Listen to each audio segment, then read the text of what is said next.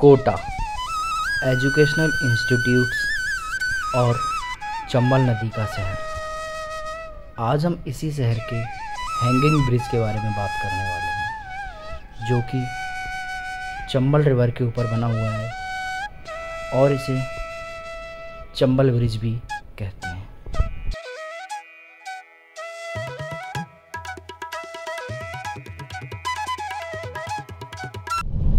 नाश्ता पानी हो गया।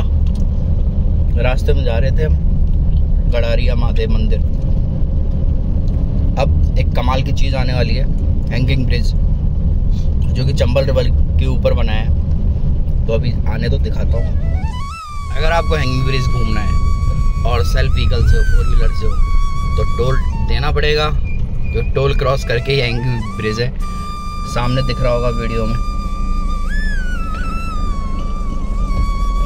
टोल कट जाए उसके बाद सीधा वहीं पहुँच रहे हैं।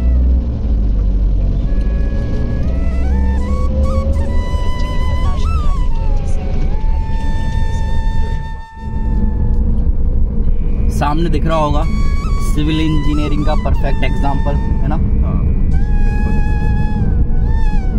Civil engineering Hanging bridge.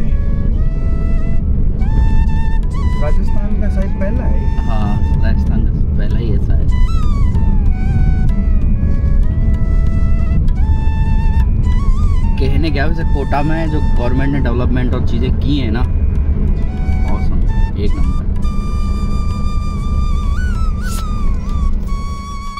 Kota hanging bridge जिसे केबल स्टे ब्रिज के नाम से भी जानते हैं।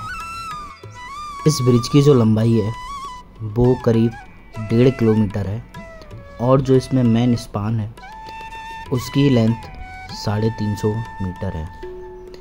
इस ब्रिज का कंस्ट्रक्शन ईयर 2006 में स्टार्ट हुआ था और 17 में इसका इनोग्रेशन हुआ था। बाकी लोगों के लिए आने जाने के लिए इसको ओपन किया गया था। ये एक बेस्ट एग्जांपल है सिविल इंजीनियरिंग का। और ये जो ब्रिज है, इसमें जो स्पान बनाया गया है, ये इस ब्रिज को मजबूती देता है।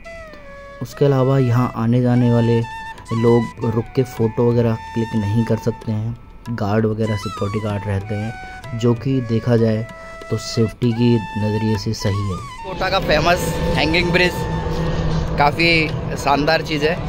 फ़ोटो शूट वगैरह ज़्यादा ना करें, रोड पे तो ज़्यादा ठीक रहेगा।